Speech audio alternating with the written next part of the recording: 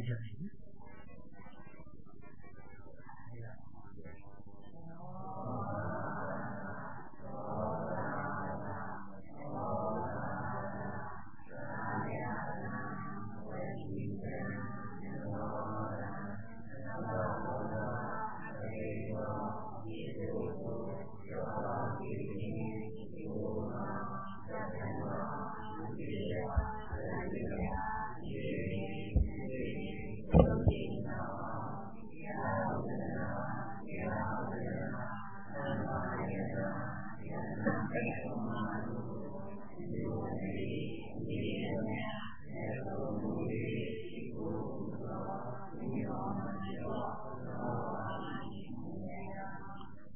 ယရဏတိယရဏနာ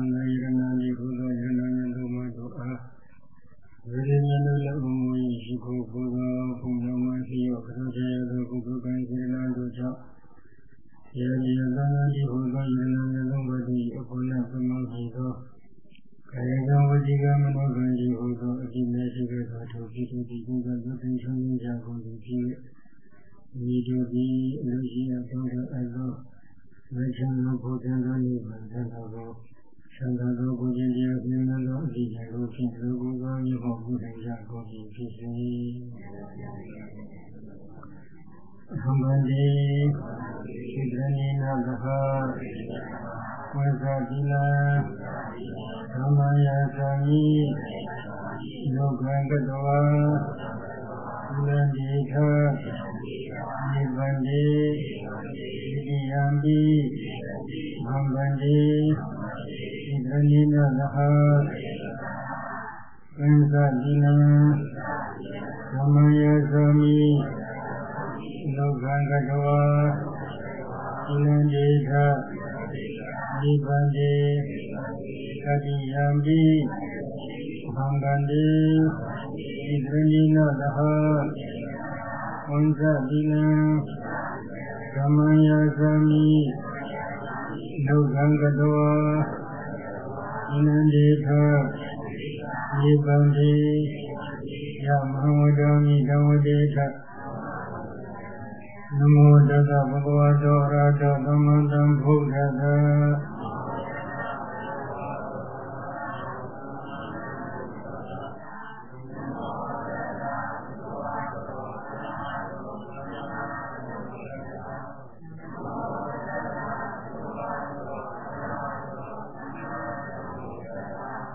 န္တရဏံကိသာမိဓမ္မန္တရဏံကိသာမိသံဃန္တရဏံကိသာမိ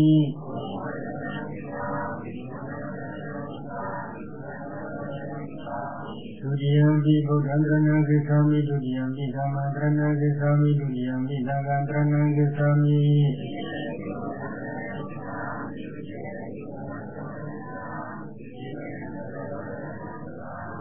တတိယံဒီဘုဒ္ဓံတရဏံကိသာမိတတိယံဒီဓမ္မံတရဏံကိသာမိတတိယံဒီသံဃံတရဏံကိသာမိ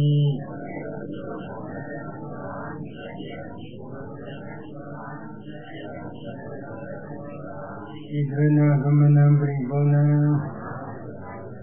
အနရိဘဒဝရမဏိသိက္ခာပဒံသမာဓိယာမိ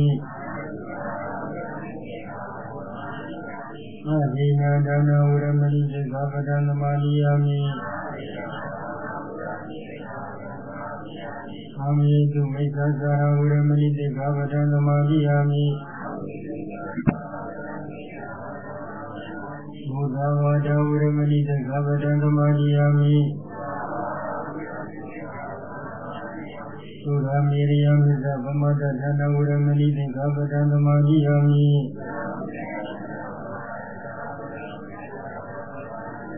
ရှိလန်ဒီနသမဂုံသုံးပါးနဲ့ဘာလို့ဝါနိသာကရုဓမ္မဉာဏ်ရရှိတော်ဤရတကကရုသောတို့ဒီမြေမပြဤကရုဓမ္မသူတော်မူသော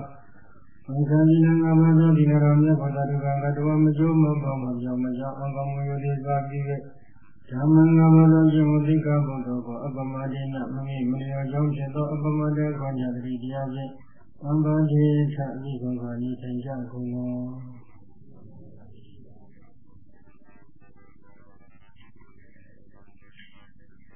ဒီလိုကြီးအမောဘောပေါ့နော်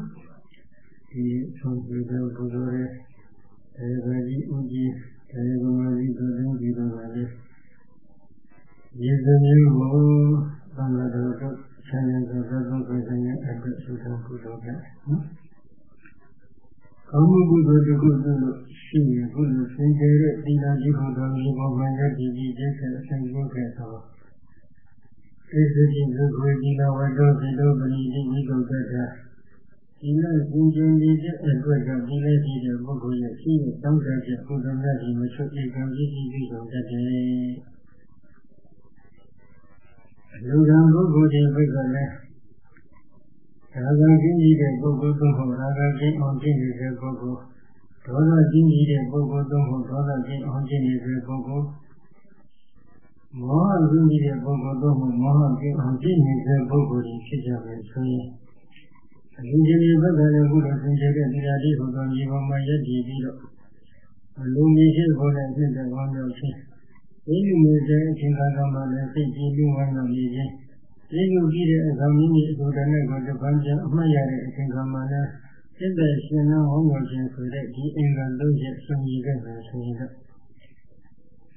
လူတွေတဲ့ပုဂ္ဂိုလ်ဘက်ကအင်္ဂါ၃ချက်အစုံပုဂ္ဂိုလ်ဘက်ကအင်္ဂါ၃ချက်ပေါ့အင်္ဂါ၆ချက်သုံးရနေတဲ့ဒီလိုကဏ္ဍမျိုးကိုအသင်္ချေယအကမေယမလေးစီအပ်တဲ့အကျိုးကျေးဇူးကိုသိခါတယ်ဒီပြည်ပြည်ပြည်ဆုံးနိုင်တယ်လို့ဒီလိုပြကဟောထားဥပမာနဲ့ပြောရင်တော့မဟာသမုဒ္ဒရာရေကိုရှင်ကြရာကောင်းတဲ့ပုတ်ကြီးနဲ့ရှင်းလုံးနေနဲ့ရှင်ကြကြည့်နေဆိုရင် ရေးရင်းနဲ့ကြည့်တဲ့ကနန်းချပြီးရေပြတ်ကြောက်နေဆိုရင်ရတယ်ကလို့ဒီကောင်းမှုကြောင့်ရရှိမဲ့အကျိုးအနိသန္တအနိသန္တဖြည်းဖြည်းမရေမတွက်တဲ့အောင်ရောက်ရတယ်လို့ဆိုတယ်။သို့သောဒီလိုအကျိုးတရားတွေဟာဘာတွေလဲလို့ပြန်ဆန်းစစ်ကြည့်လိုက်တော့လူချမ်းသာဆိုတဲ့အကျိုးတရားနဲ့ချမ်းသာဆိုတဲ့အကျိုးတရားပြန်တာဖြစ်ပါတယ်နော်။ဒီလိုဒီလူချမ်းသာနဲ့ချမ်းသာဆိုတဲ့အကျိုးတရားတွေဟာ စိတ်ကူးပြေမှုနဲ့ဒီအစဉ်တည်းကြီးနေတဲ့ချမ်းသာပြီလားလို့ပြန်ဆန်းစစ်ကြည့်လိုက်တော့လူဘဝတခုရဲ့ကြည့်အတွက်ချမ်းသာတဲ့ပုဂ္ဂိုလ်ပဲဖြစ်ဖြစ်ဆင်းရဲတဲ့ပုဂ္ဂိုလ်ပဲဖြစ်ဖြစ်ခေါင်းဆုံးပါစပ်ရည်ကြည့်ရမယ်။ဒီဝန်လေးမှာကိုယ်လည်းဆယ်လပြိဿလေးကြည့်ရကမ္မကောအကြောင်းလှက်ခဲ့ရင်ဒီကံဝမ်းတွေမှာတော့လည်းပြည့်စည်တယ်ပြည့်စုံသွားတယ်ကြည့်တယ် တကံဝေခေါ်လာပြီးကိုယ်ချင်းတရားတွေကဖြစ်ကျိုးနေတယ်၊နာကျင်တရားတွေကဖြစ်ကျိုးနေတယ်၊သိချင်းတရားတွေကဖြစ်ကျိုးနေတယ်။ဘာဖြစ်လို့လဲ။ဒီယုတ်နဲ့ဓမ္မသင်္ခါရတရားတွေကိုဖြစ်ပေါ်စေတတ်တဲ့အကြောင်းတရားတွေကိုယ်တိုင်ကအနိစ္စတရားဒုက္ခတရားအနတ္တတရားတွေဧကံစီစုဖြစ်နေခြင်းကြောင့်ဒီအနိစ္စဖြစ်တဲ့ဒုက္ခဖြစ်တဲ့အနတ္တဖြစ်တဲ့အကြောင်းတရားတွေကြောင့်ရှင်းရှားဖြစ်ပေါ်လာရတဲ့ ဒီယုတ်ရဲ့ဉာဏ်ချက်ဒီဘာဝနိစ္စဒုက္ခအတ္တဖြစ်နေပါမယ်ဆိုပြီးဒီလိုဖျက်ဟောတာအကြောင်းရင်းတွေကိုယ်တိုင်ကဖြစ်ခြင်းဖြစ်နေတယ်မမြဲတဲ့အနိစ္စတရားဖြစ်တဲ့အတွက်အကျိုးတရားတွေလည်းအနိစ္စဒုက္ခအနတ္တတရားဒီသာလာပြီးဖြစ်ကြရဒီလိုအနိစ္စဒုက္ခအနတ္တဖြစ်နေတဲ့အပြင် ဒီလိုကရာဂမကင်းတဲ့ပုဂ္ဂိုလ်ဖြစ်ခဲ့ရရာဂမကြီးဒီလောင်းရည်တဲ့ခံခံရမယ်ဒေါသမကြီးဒီလောင်းရည်တဲ့ခံခံရမယ်မောဟကြီးဒီလောင်းရည်တဲ့ခံခံရဒီပိုင်ဆိုင်နေတဲ့သက်ရှိတဲ့ကာမဝတ္ထုသုသုရှိဖောက်ပြန်ပြည့်စည်သွားခြင်းဒီကိုအကြောင်းကြောင့်ဆွေရခြင်းသောကဆိုတဲ့မိဝိပုမိတရခြင်းပြိจิวဆိုတဲ့မိကိုသိရခြင်းဒုက္ခဆိုတဲ့မိဆွေရခြင်းဒေါမနကဆိုတဲ့မိ ဒီသောဘူဝရခြင်းဥပါယတဆိုတဲ့မိဒီမိတဲ့စိတ်တည်းဒီလောင်းနေတဲ့ခံခံရတဲ့ချမ်းသာဒုက္ခအမျိုးတွေကဖြစ်ကြပါတယ်နော်ဒီလိုမိတဲ့တည်းတို့အမြဲတမ်းလောင်းနေတဲ့ချမ်းသာဒုက္ခကိုဒီကချမ်းသာဒုက္ခအရှိကြီးလို့ဆရာဆရာရှိတဲ့အရာကောင်းကောင်းတို့ကတော့မမြင်ဘူးဒီချင်းချင်းချင်းထင်ချင်းဖြင့်အရင်ကကြအရင်ကအနိစ္စခံရတဲ့ဒုက္ခတရားအစုကုန်ကြီးပဲလို့ဒီလိုကြည့်နေတော်မူကြပါတယ်နော် အဲဒီလိုကြည့်ရင်ချင်းစီနိဗ္ဗာန်ကိုရရှိအတွက်ပြီးတော့အကြောင်းအဆောက်အအဆောက်ကိုတစ်ခုဖြစ်ပါတယ်ဒီတော့ဒါနကြီးဒီလိုလူချက်နဲ့ကျန်တာဆိုတဲ့အကျိုးတရားတော့ဒီရက်တနေတာဆိုတော့မဟုတ်သေးပါဘူးဒီအဖြစ်ရှင်တွေဘက်ကလူချမ်းသာနဲ့ဆန္ဒကိုအလုံးမရှိဘူးလိဗ္ဗာန်ဆန္ဒကိုလည်းလည်းတောင်းတပါတယ်ဆိုရင်လည်းထိုတဲ့ကုသိုလ်ကစေတနာတွေက လိဗ္ဗာန်ချမ်းသာတဲ့တော်မြတ်ကြီးကိုရရှိဖို့ရအတွက်အာကြီးသောမြတ်ဥပနိဒေယပြည့်စုံတတ်သည့်ဖြင့်ကျေးဇူးပြုပြီးမှဖြစ်ပါတယ်။အာကြီးသောမြတ်ဥပနိဒေယပြည့်စုံတတ်သည့်ဖြင့်ကျေးဇူးပြုပြီးတဲ့စကားဘယ်လိုလဲလို့ပြီးတော့ဒီဘယောကြောင့်တော်ကောင်းကြီးအချိန်ကိုဟောကြားကြတာသုံးဆုံးမှပြိမဲ့ဆရာကောင်းမကောင်းလူကောင်းဖန်ကောင်းလူကောင်းသူကောင်းဒီတိုင်ရောက်အောင်ဒီကံကြီးကပို့ဆောင်ပေးမယ်ပို့ဆောင်ပေးလိုက်တဲ့အခါဘုရားဆိုင်ကြတာကြီးရတော်ကောင်းတို့ဓမ္မ သစ္စာလေးပါးနဲ့ဆက်တဲ့ဒီဘယောကြောင့်တရားစကားတွေကိုကြားနာဖို့ရရှိပါဖြစ်တယ်သို့တော့အဲဒီလိုဓမ္မဒီကိုတည်းကဒီဘုံကရနိုင်ပါလားလို့နေတော့မရနိုင်တဲ့သဘောရှိတယ်ဒါနဲ့ကသရဏမျိုးတွေမှာအကျုံးဝင်နေပါတယ်ရဏမျိုးတွေဆိုတာကလက်ရှိချင်းအကျိုးတွေဒီလိုရှိတဲ့ပုဂ္ဂိုလ်ကလူရအရက်ကိုသွားနိုင်တယ်လက်ရှိတဲ့ပုဂ္ဂိုလ်ကလူရပြည်ပြည်ဝတ္ထုကိုကောက်ယူလို့ရတယ် ဒီလိုလည်းမပါဘူးလည်းလည်းမပါဘူးဆိုရင်ဒီပုဂ္ဂိုလ်ဒီလူရအရက်ကိုလည်းမသွားနိုင်ဘူးလူရှိတဲ့ပြည်ပြည်ဝတ္ထုကိုကောက်ယူမှဆိုတဲ့ကောက်ယူလို့မရနိုင်ဘူးအဲဒီဘုရားအတင်းနဲ့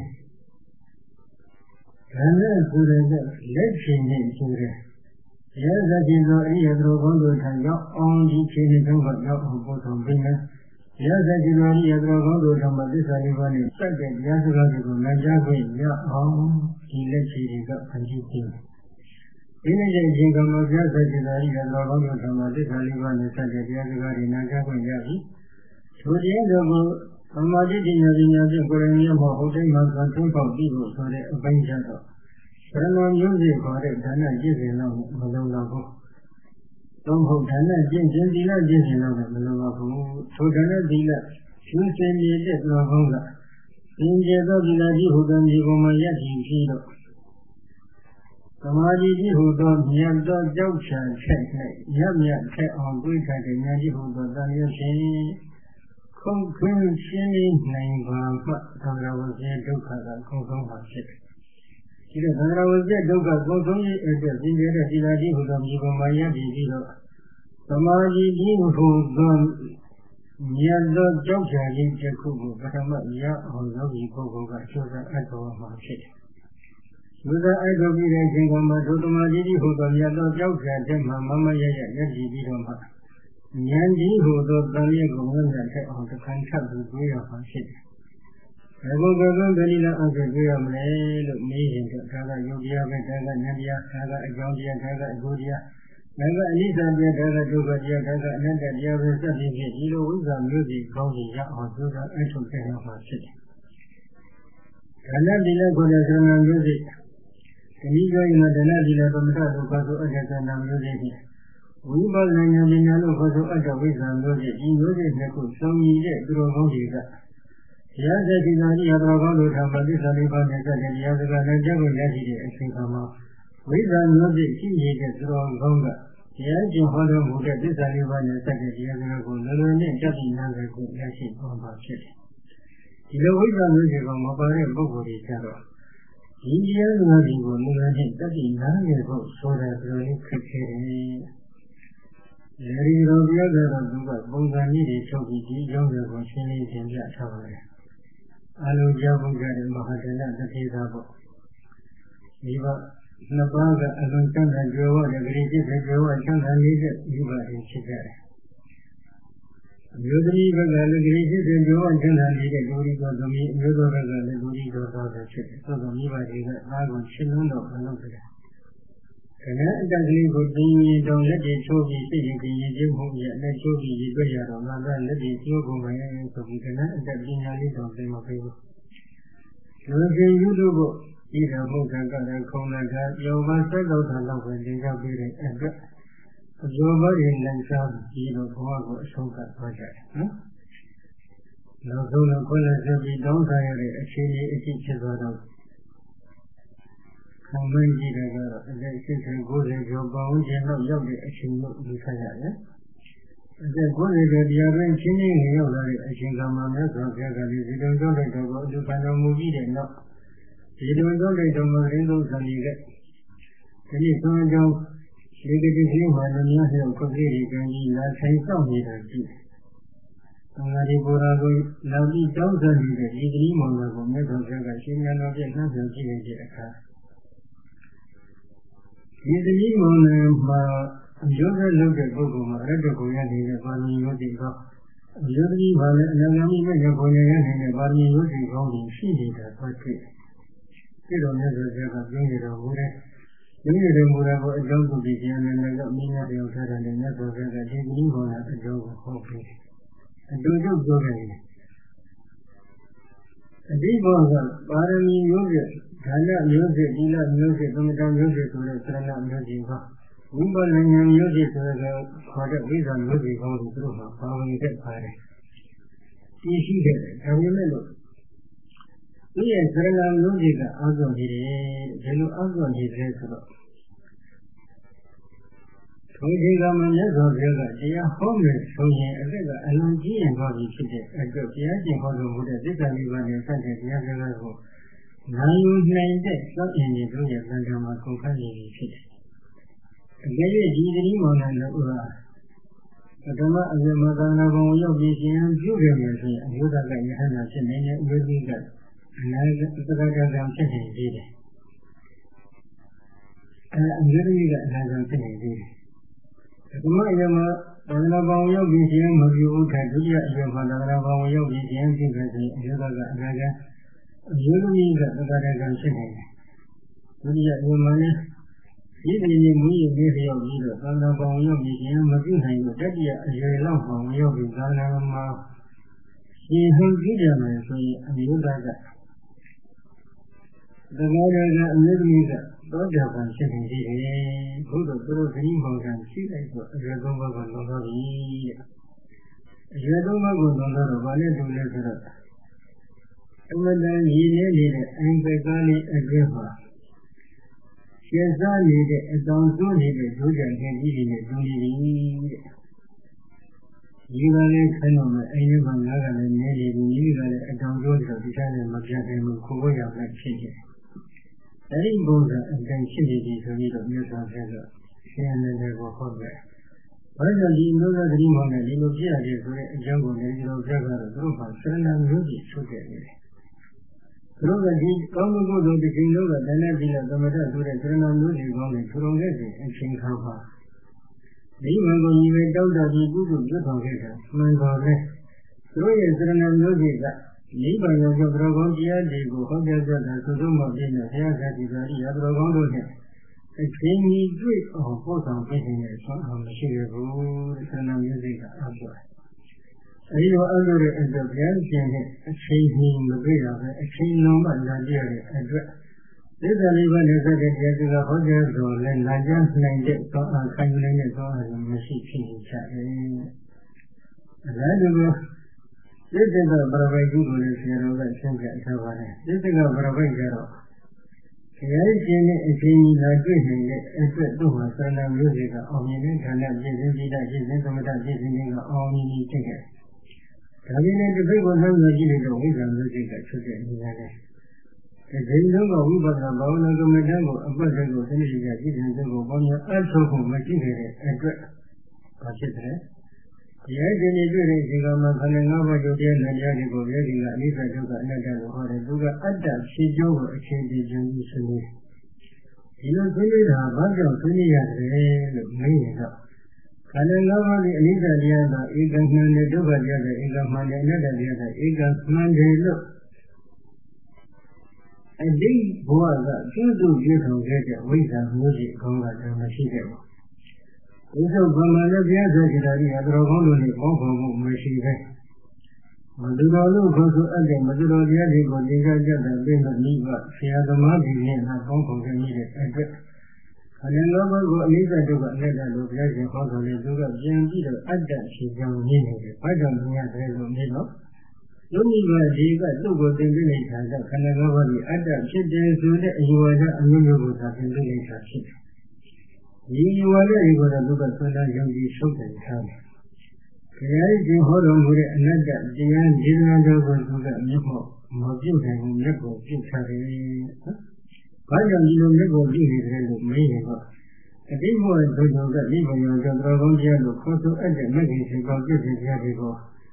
သတိနဲ့ကြကြည့်တဲ့ကျုပ်ကိုပေါင်းများအပ်တော်မှုမရှိပဲ။ခန္ဓာ၅ပါးကိုအနိစ္စတရားကမှန်တယ်ဒုက္ခတရားကမှန်တယ်အနတ္တတရားကမှန်တယ်လို့ဟုတ်သိမှဆိုမသိခဲ့တဲ့အတွက်ဝိဇ္ဇာမျိုးကြီးကသူ့တန်တာမှာဆွတ်တဲ့အကြီးတယ်ဆွတ်တဲ့နေတဲ့ဒီဟိုသောအကြောင်းကြောင့် ဒတရားရှင်ကခန္ဓာ၅ပါးရဲ့အနိစ္စဒုက္ခအနတ္တကိုမှန်တယ်လို့ဟောတော်လဲသူကခိုင်းခိုင်းနဲ့ဆောင်းအားထုတ်မှမရှိဖြစ်နေတယ်။တရားရှင်ကြည့်တော်လဲ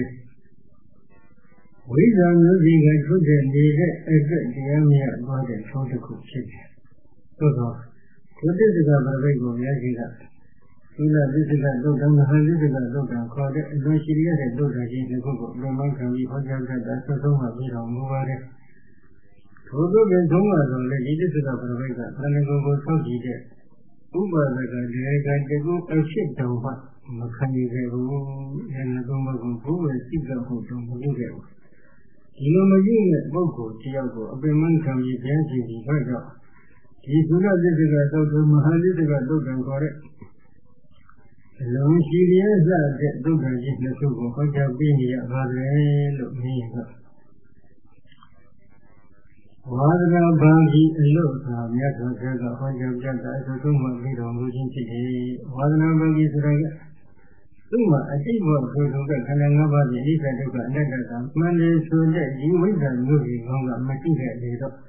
ဒုဝိဇ္ဇာမျိုးကြီးကောင်းကြီးသူ့ရဲ့တန်တန်၌ကပ်ပြီးပါပါစီခြင်းအကျုပ်နဲ့ရေတောင်းတပြီးချက်ခြင်းက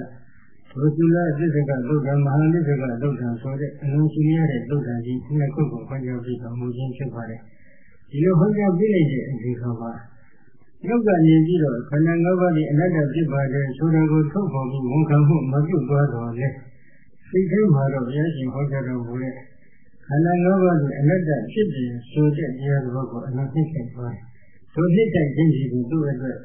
ဝိဇ္ဇာမျိုးကြီးကောင်ဖြစ်နေတယ်ဆိုတော့ဘုရားရှင်မြင်တော်မူတဲ့အတွက်သူ့ရဲ့သံဃာမဝန္ဒဘာကြီး ရံငွေနဲ့ဝိဇ္ဇာမျိုးကြီးကောင်လေးကပါသွားပါခြင်းဒီအကျိုးခံပြီးပဲတောင်းတပြီးတော့သုလသစ္စကသုတ်တံမဟာသစ္စကသုတ်တံခေါ်တဲ့ဒီသုတ်တံကြီးတစ်ခုကိုဟောကြားပြီးတော်မူခြင်းဖြစ်ပါတယ်ဒီလိုဟောလိုက်တဲ့အတွက်သစ္စကပရဝေကြီးရဲ့သံဃာမှာဒါနဲ့ကျင့်ခြင်းဒီနဲ့ရည်စင်တော်ထကျင့်ခြင်းခေါ်တဲ့ခန္ဓာမျိုးကြီးဝိပဿနာကြည့်ခြင်းလို့ခေါ်ဆိုအပ်တဲ့ဝိဇ္ဇာမျိုးချင်းဒီကကပ်ပြီးပါသွားလိုက်တဲ့အတွက် အဲဆိုကြပြိဋိဘာသံတော်မူကြီးတွေနောက်ဒီပေါင်းလေးရခတ်အကြာဒီဟိုကျောမှာမဟာကလဗုဒ္ဓရက္ခိတမထေဆိုပြီးတော့ဉာဏ်တော်မထေကြီးတို့ကတော့ဒီဖြစ်ပါတယ်နော်ဒါဘုရားရှင်ကနေပြီးတော့ဝိဇ္ဇာမျိုးကြီးတွေပြီးတော့အောင်ပြုလို့ပြလိုက်တဲ့စွမ်းအားကြောင့်ယဟန်ရဲ့အဖြစ်တော့သစ္စာကဘာပဲကြီးရောက်ကြည့်ပေါ်ခြင်းဖြစ်ပါတယ်ဒီပုံလေးနဲ့လောက်တော့ဟောဟတ်သွားတယ် မဟာကလဗုဒ္ဓရတိကမတိဆိုပြီးတော့သို့အမည်ဖြစ်ဒီလိုကြောင့်မှအလွန်ချိန်ထားတဲ့ဉာဏ်နဲ့ကြီးတစ်ပါးဖြစ်ခဲ့ပါတယ်သာသနာကိုညီလလက်တဲ့တွင်ဖြစ်တဲ့အောင်ပြုဖို့ဒုက္ခနှိမ်ခဲ့တဲ့ကြောကောင်းတူလည်းဖြစ်သွားတယ်။ဒါကဘုန်းကြီးပြောနေတဲ့အချက်ကဒီနေ့ဒီလိုကြီးဘုန်းကြီးစိတ်သွင်းကြည့်တယ်။ဒါနာကင်းမှာကုသိုလ်ဆိုတဲ့နေတဲ့အတွက်ဘုန်းကြီးလည်းဝမ်းတော့ဝမ်းတော့ပါတယ်။အရှင်ရှင်ဒီဘက်ကကြည့်ရင်ဝမ်းမြောက်နေတယ်လို့ပြောနေပါတယ်သို့တော်နိဗ္ဗာန်ဉာဏ်ကြီးအတွက်က ဒါနဲ့ဒီလသမတကိုတဲ့သရဏမျိုးစီလောက်နဲ့မလုံလောက်ဘူးဝိဇ္ဇာမျိုးစီကကပ်ပြီးပါပါမှနိဗ္ဗာန်မဂ္ဂနိဗ္ဗာန်ကရရှိမှဖြစ်တော့ဝိဇ္ဇာမျိုးစီပြည်စီရဲ့အတွက်ကတော့လက်ရှိအားဖြင့်သမတဥပါဒနာဘာဝနာတွေကိုသိနေကြအရှင်းရှင်းသိကြံချက်ကိုပေါ်မြတ်အထောက်ပါမှဒီဝိဇ္ဇာမျိုးစီကောင်းကြီးကမိမိရဲ့လုံလတန်တန်အစမကိဝပြီးဒီသိလာကြပါဖြစ်ပါတယ်။ အကြေမြမိမိတို့ကအတိတ်ဘဝသူတို့ကလည်းဝိဇ္ဇာမျိုးစုကောင်းဒီတောင်းခဲ့တဲ့သူတော်ကောင်းတူဖြစ်လို့ဒီဘဝမှာလည်းဝိဇ္ဇာမျိုးစုတွေကိုတတ်မှန်ပြီးသူတော်လိုက်တဲ့အခါအောင်မြင်မှုရရှိခဲ့မယ်ဆိုရင်ဒီဘဝမှာကံမျိုးကိုဒီဘဝကိုရရှိခြင်းနဲ့ရရှိပါမှာဖြစ်တယ်။အကြေမရရှိခဲ့ဘူးဆိုတော့ကျင်လည်းနောင်တန္တရာဘဝတစ်ခုခုမှာတော့မြတ်ဘုရား ကဒီဒီဧကရရှိဖို့ရအတွက်အကြောင်းအထောက်အပံ့ဖြစ်ပါပါလေ။ဒါကြောင့်ဒီနေ့ကျတဲ့ကောင်းမှုကုသိုလ်ရှင်အလူရှင်တွေကလည်းဒါနကြည်စည်လရည်စင်လို့ခေါ်ဆိုအပ်တဲ့သဏ္ဍာန်မျိုးစီလောက်ဒီလက်တမဏီပဲသမထဝိပဿနာဘာဝနာလို့ခေါ်ဆိုအပ်တဲ့ဘာဝနာမျိုးစုဝိဇ္ဇာမျိုးစီလေးတွေဒီလိုရဲ့ဒုက္ခတန်တဲ့အရှင်မကိဝလာအောင်ရှင်းတဲ့ပုဂ္ဂိုလ်ပေါ်မှာအထောက်ကြပါသရဏမျိုးစီနဲ့ဝိဇ္ဇာမျိုးစီဒီနှစ်ခုပေါင်းစပ်ပြီး အာပိထုတ်ကဘာမှသာစင်မဟုတ်ဘူးဘုံကိုလက်ရှိနိုင်တဲ့သဘောရှိပါရဲ့။အဒီများအာမထုတ်နိုင်ကြသေးဘူးဆိုရင်လည်းဒီနေ့ကြည့်နေတဲ့အကျိုးဆုံးသောကောင်းမှုကုသိုလ်ဒီဘုံမက်ကိုနိဗ္ဗာန်ကိုရခြင်းနဲ့ပြီးပါသောအကြောင်းကောင်းမှဖြစ်ပါစေအထုနိုင်ခြင်းရဲ့ဒီမှာဆိုအကြောင်းတော်ပါရှိပါစေတဲ့ဒီလိုရှိတော်ပန်တော်ပြီးတော့ဒီလိုဆုံးချအမှန်ကိုကြားရအောင်နော်ကဲလက်ဆုံးချလက်ဆုံးချအ ရှင်ဘုရားပရိတော်တို့သည်ယရဏသုံးတန်ကံကံဤအကျိုးတရားကိုသဝေယုတ်ကြည်ပါကုန်သည်ဖြစ်၍ရဏဂုံသုံးပါးဖြင့်ဒီကောငါးပါးသီလကိုခံယူသောကြည်ပြီးသည်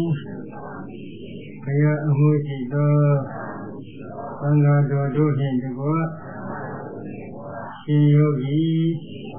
ယူယောဂီပရိသအဘောသူတော်ကောင်းတို့အားဆံကေပေပေါ်ခြင်းဆွေးချင်းရသောရရတို့ကိုသက်ကကျွေးမွေးလူရန်ဘုရားဝါကိုဤအရှင်ဘုရားဘုမတပါဤရည်တန်းဆက်တို့ကို သံဃာတော်အားသံဃာစွာအလိုရှိတိုင်းအသုံးရှိရန်အလုံးသာသက်ကလူတန်းဘုရားဝါကိုဤအရှင်ဘုရားဤတော်တို့ဤဤနေ့ဤရက်၌ပြုလို့အပ်သောဌာနကုသိုလ်သောတိယသော သီလကုသိုလ်ပေါင်းများရသောဘာဝနာကုသိုလ်ဤကုသိုလ်အရရသည်ဒုက္ခခတိဤရဟံယလိဘံကိုချမ်းသာသောကိုယ်ခြင်းတရားဉာဏ်ဉာဏ်သောအတိညာတို့ဖြင့်လွယ်ကူစွာရခြင်းရောက်ခြင်း ဤဤစွာသောအကြောင်းအထောက်ပံ့သည်ဖြစ်ပါစေတည်းဒီကောင်းမှုဤဘုရားကကိုကျေးဇူးအထူးရှိကြပေဘူးကုန်သောမိခင်ဖခင်ဆရာသမားသင်မျိုးနေတကအပေါင်းတို့အား၎င်းရှိရှိဘဝ ယခုဘဝတို့၌သူမျိုးတော်စဘုကုန်သောဘုလံကြရေကုန်ကြည်သောဤဘဘုရားသင်မျိုးနေတကအပေါင်းတို့အား၎င်းယာမင်းကြီးအလကောယမမင်းအလကောဒီတော်တို့ကိုတောင်းလျှောက်ရရှိကြကုန်သော နမြတ်နှကောနာပေါင်းတို့အလကောဒီတော်တို့ဒီထိုင်ရာရရွာကိုတောင်းလျှောက်ရရှိကြကုန်သောနမြတ်နှကောနာပေါင်းတို့အား၎င်းဘုရားမြတ်စွာသာသနာတော်ကိုသောကြောင့်ရှိကြကုန်သော နမြတ်နှကောနာပေါင်းတို့အား၎င်းဘုရားတဘုံရှိလီကြကုန်သောဉာဏ်ဉာဏ်တရားသတ္တဝါပေါင်းတို့အား၎င်းအမြအမြေဝေပါ၏ဘုဒ္ဓတော်တို့သည်ဒီတော်တို့သည်သတ္တုတမြ ကုသိုလ်ကောင်းမှုဤဘုရားသတ်ကိုမြတ်ရ၍ချမ်းသာကြသည်ဖြစ်ကြပါစေသော